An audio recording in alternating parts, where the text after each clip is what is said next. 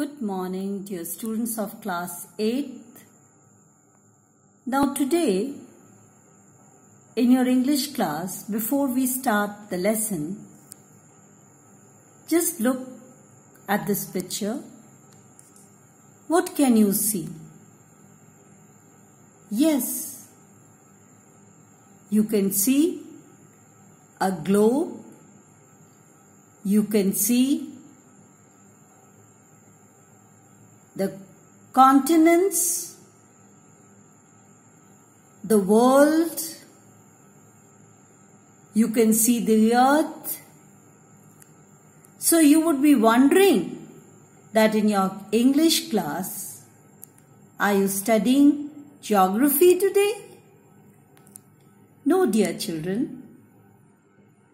Definitely, this has something to do with geography but at the same time, today we are going to enjoy a poem and this poem is Geography Lesson from your main reader, Honeydew.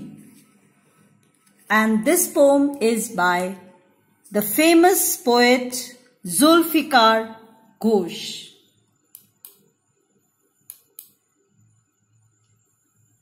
So you are going to enjoy and appreciate this poem today.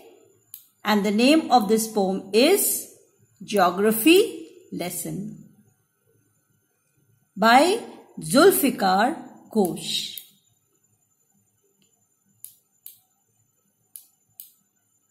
Now I'll read out this a brief introduction before we begin the poem. Now can you imagine what your city would like look like if you saw it from 10,000 feet above the ground? Nobody planned perfect in proportion like geometric design. It would strike you as something very different from what it actually is while you are in the thick of it. Some of you who have traveled in aeroplanes are reminded of scene when you are looking at cities at the world from a height. So here is the poet's description of just such a view of the city and some questions that come to his mind when he is looking at the world, at the cities from a height.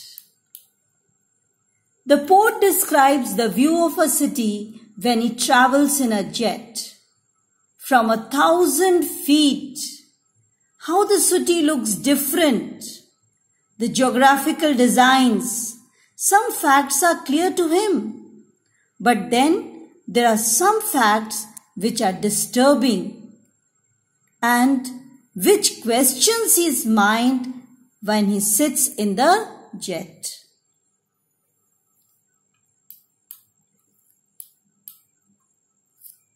Now, definitely you would like to know more about jets, so you can visit the site.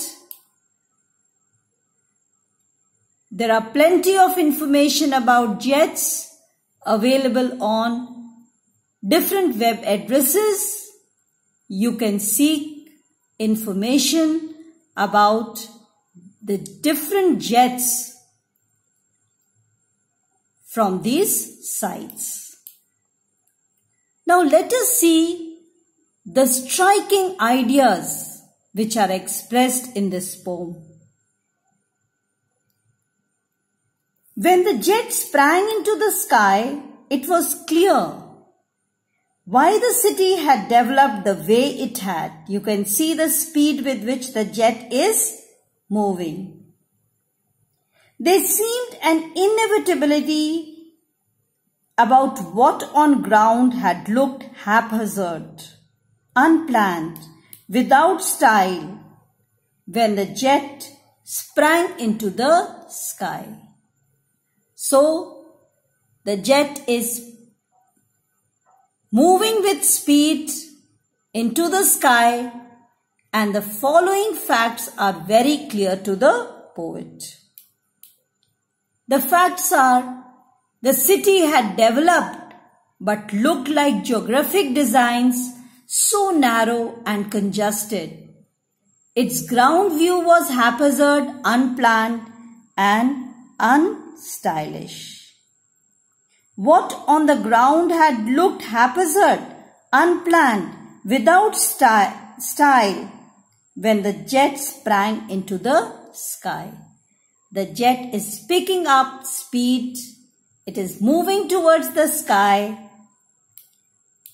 Now, when the jet reached 10,000 feet, it was clear why the country had cities where the rivers ran.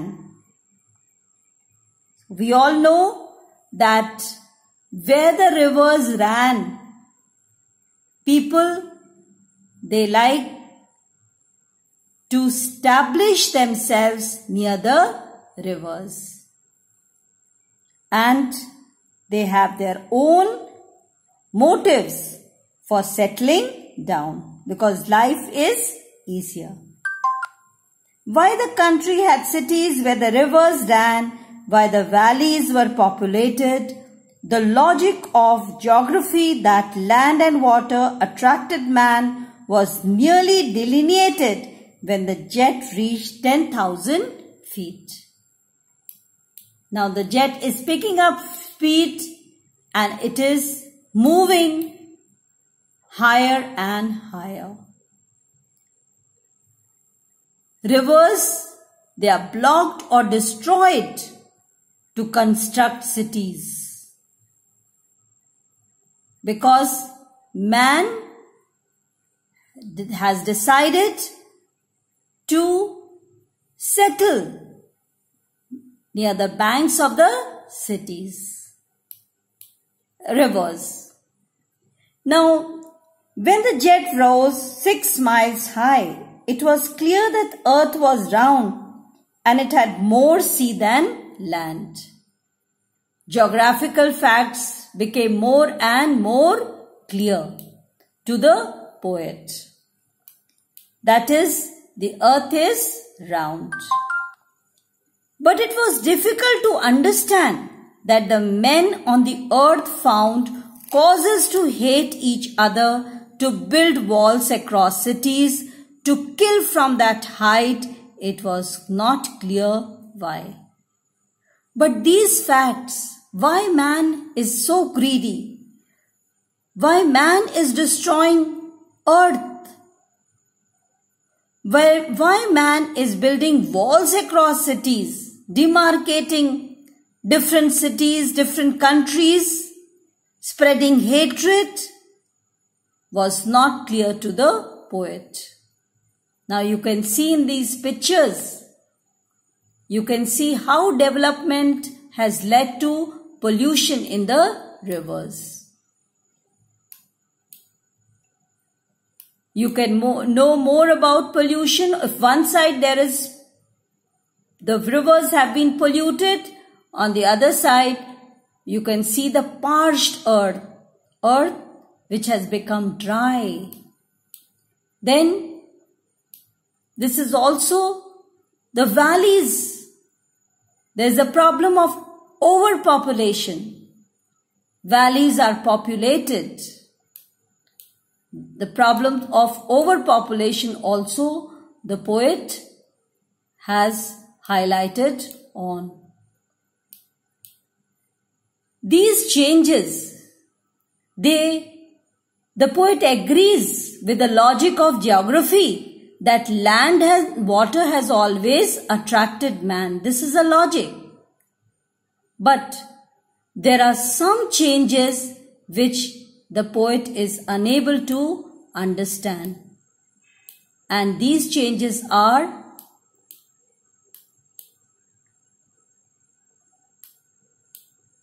man, why man has become greedy. It is difficult to understand. Logic of geography is clear. But why people find causes to hate and fight, the poet is not able to understand why man is building walls across cities and countries, separating man from man is not clear to the poet.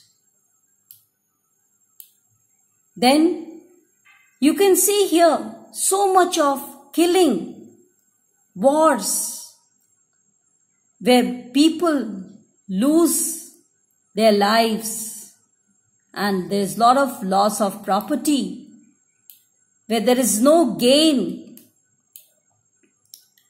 wants to, if there are many wars that have, were fought, which has really harmed mankind. Here the poet ends with a positive line and a message for children that let's put our hands together and make this world a better place. The poet wants to sensitize the readers that man should stop hatred and put up hands together and make the world a better place.